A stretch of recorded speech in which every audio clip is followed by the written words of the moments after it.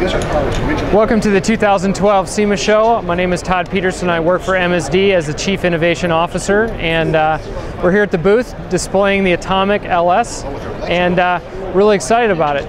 Uh, basically, the Atomic LS is a, uh, an offshoot from our previous Atomic TBI, and uh, but it's for the LS engine. Uh, but we've accomplished similar things that we, we did on the TBI by making it do it yourself. Uh, and that's the key with this product.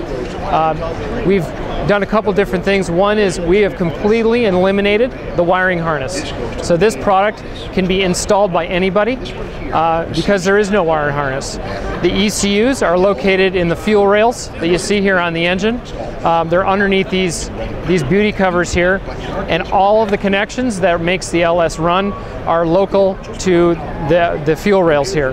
The coils, the injectors, the throttle position, uh, the camshaft sensor and the, and the crank sensor, everything is local on the engine. So there literally is no wire harness. Uh, it all is connected to this fuel controller box uh, that controls the fuel pump and, um, and also contains the O2 sensor in which you do we do self-tuning.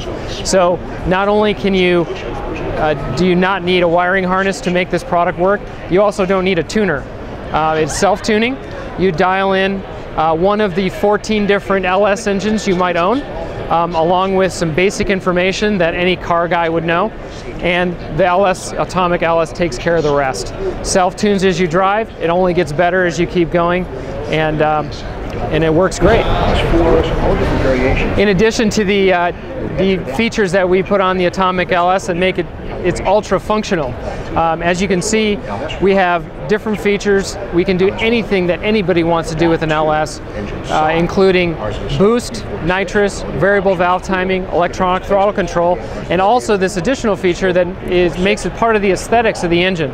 So you don't have to cover up the coils anymore with extra product. We have an integrated coil cover uh, that you can buy, uh, along with uh, the Atomic uh, Atomic TBI, or Atomic LS, I'm sorry. Uh, it's available in red or black, but it's also available in unfinished, and you can, uh, uh, you can incorporate any sort of design that you like on top of that engine.